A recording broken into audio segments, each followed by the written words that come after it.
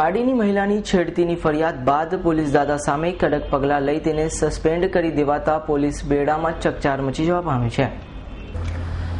પાડી મારુતિનગરમાં રહેતી એક પરિણીતાને બે મહિના અગાઉ પોલીસ એમટી ખાતાના ફરજ બજાવતો પોલીસ કર્મી નરેન્દ્ર ચૌહાણ પરિણીતાની ઘરે દારૂના નશામાં પહોંચી જઈ મહિલા સાથે બીભસ્ત વાતો કરી મોબાઈલ ઉપર એસએમએસ કરી વારંવાર હેરાનગતિ કરવા અંગે મહિલાએ વલસાડના પીએસ એસપી નિપુર્ણ તોરણોને સમક્ષ રૂબરૂ મળીને પોલીસ વિશે તમામ બનેલ ઘટનાની જાણ કરી હતી.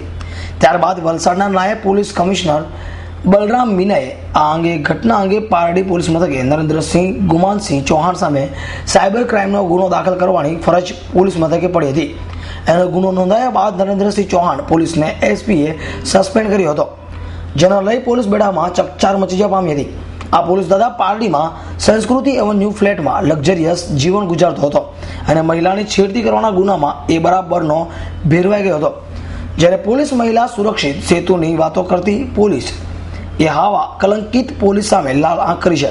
ત્યારે હજુ પણ આવા પોલીસ કર્મીઓની પોલ બહાર આવશે. હોવાનું ફરિયાદ વચ્ચે ચર્ચાના વિષય બન્યો છે. ઘટના અંગેની તપાસ વલસાડ સીપીઆઈ કરી રહ્યા છે. ઘરે પીધેલી હાલતમાં આવેલા અને મેં દરવાજો ખોલતા મારા હસબન્ડ આવી ગયા.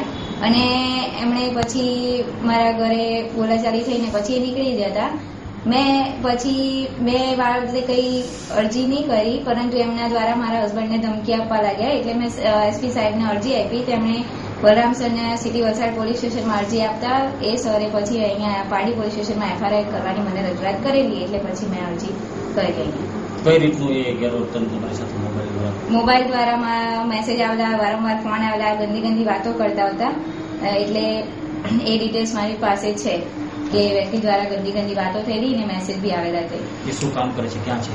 એ વલસાડ સિટી હેડક્વાર્ટર્સમાં ડ્રાઈવર તરીકેની જોબ કરતા.